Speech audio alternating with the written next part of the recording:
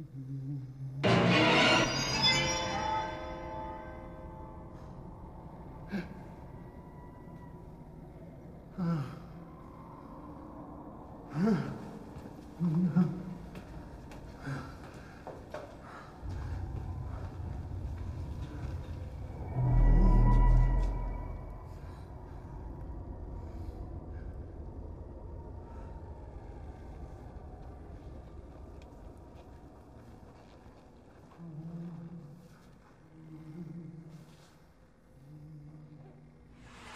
Olofsborg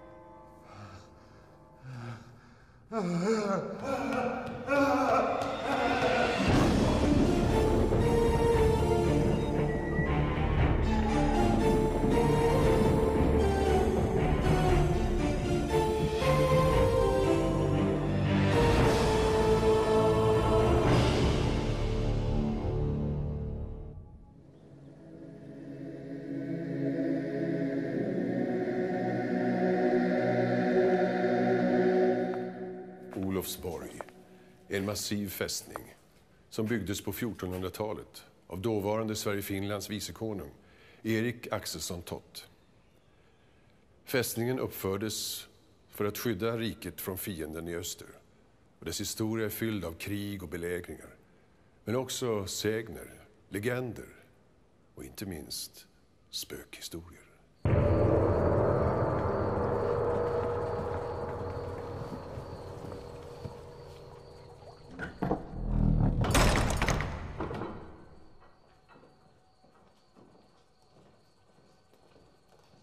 1991 blev några experter på det övernaturliga, så kallade spiritister, ombedda att undersöka borgen för att försöka finna sanningen bakom de påstådda spökerierna.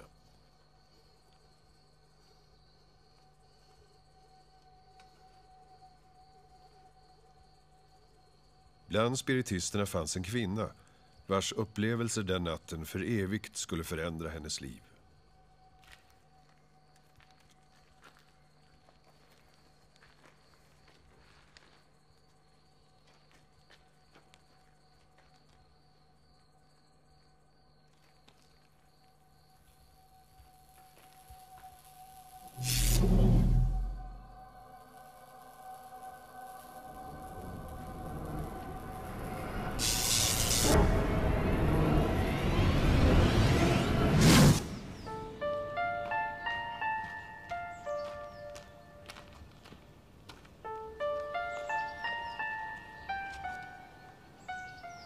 Enligt sägnen styrdes en gång slottet av riddar Rättrådig. I sin tjänst hade han en riddare kallad Armstark. En brutal man, van att få sin vilja igenom.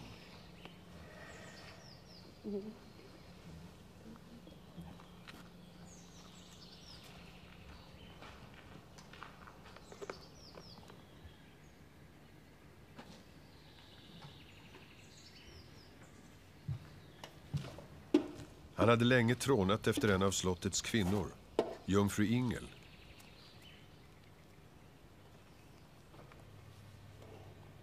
Men hon älskade en annan.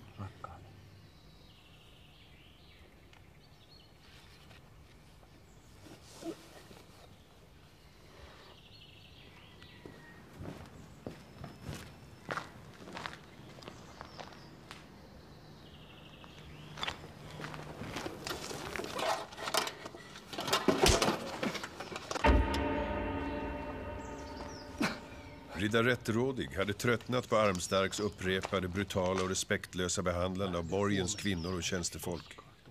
Han beordrade honom därför att lämna slottet vid gryningen och aldrig mer återvända. Utom sig av ilska svor riddar Armstark på att han aldrig någonsin skulle sätta sin fot innanför borgens murar igen.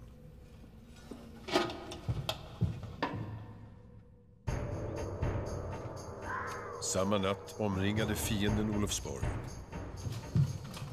Armstark, som var ansvarig för borgens försvar, informerades och såg genast en möjlighet att bli av med riddar Rättrådig och samtidigt göra jungfru Ingel till sin.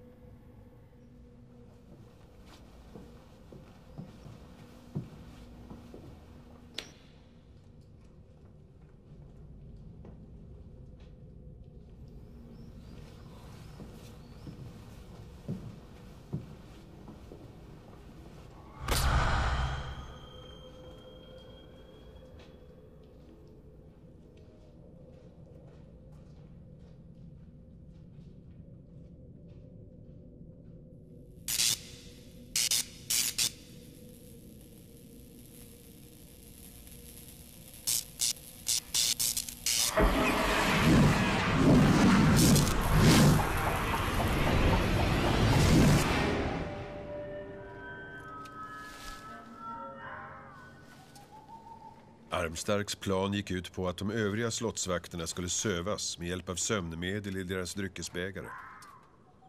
Han skulle sedan öppna slottets portar och släppa in fienden.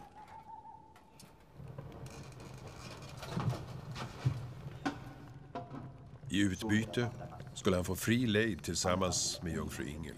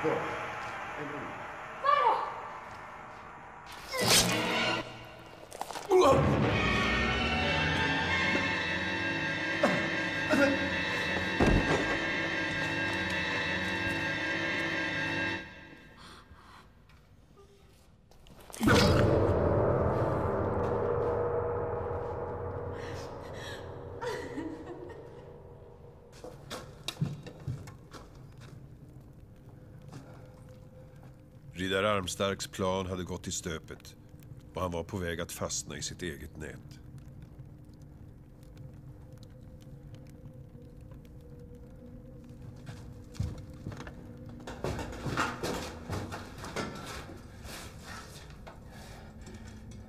Armstark påstod att han hade sett den unge riddaren och jungfru Ingel öppna huvudporten.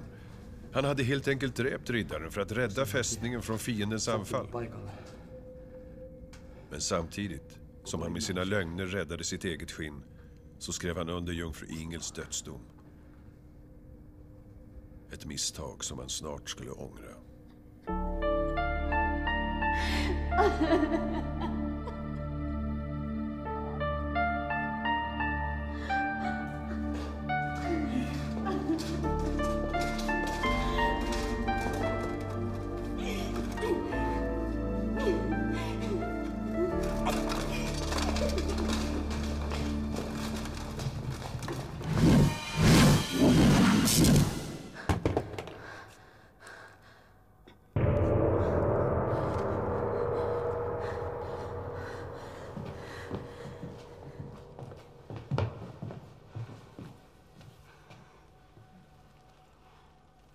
Den gamle guiden föreslog att de genast skulle avsluta besöket med tanke på vad som hänt. Men kvinnan vägrade. Hon var fast besluten att fortsätta seansen. Men då anade hon ändå inte vad det skulle innebära.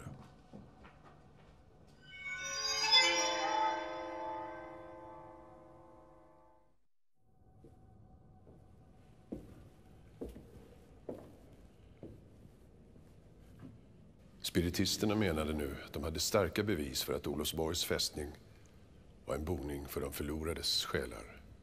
Men vem, eller vad det var som försökte nå dem, det visste de inte ännu.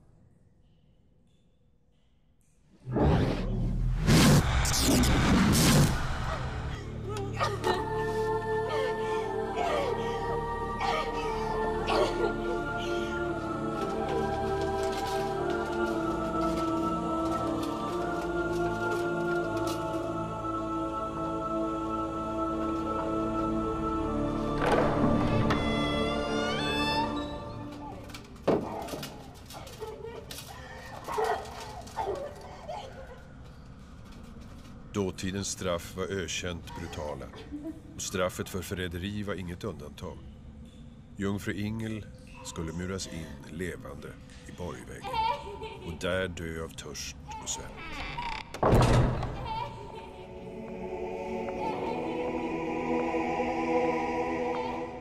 Slottsherren var tveksam på om Armstark talade sanning. Han litade mer på jungfru Ingels bedjan om nåd. Men då en riddares ord alltid vägde tyngre än en jungfrus var han tvungen att döma efter vad Armstark berättat.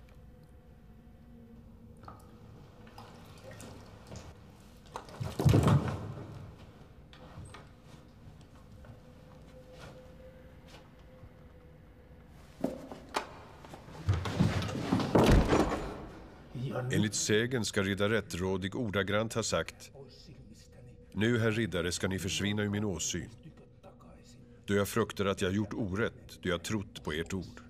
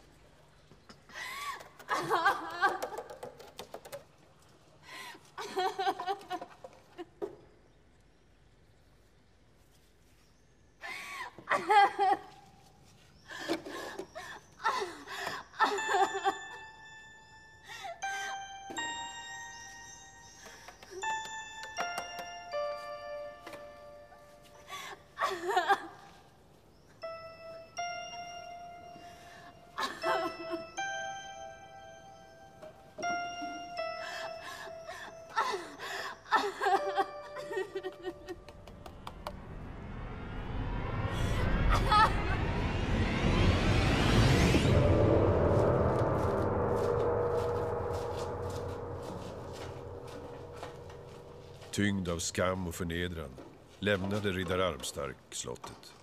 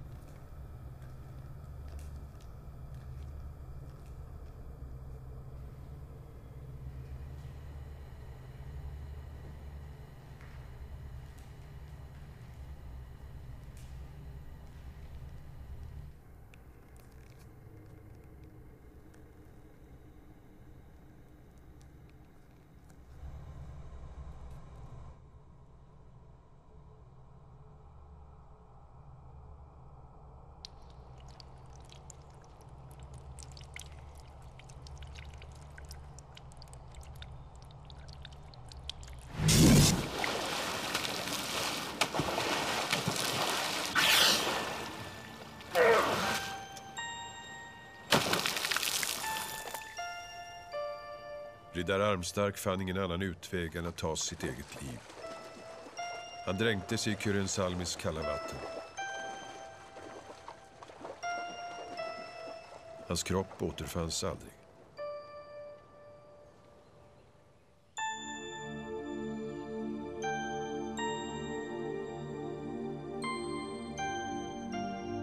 Riddar Rättrådig avsade sig all den makt och rikedom han åtnjöt som slottsherre och tog istället tjänst som slottspräst på Olofsborg. Under resten av sin tid i livet vårdade han ömt den rönn som sprungit från en plats i muren där jungfru Ingel gick sin död till mötes.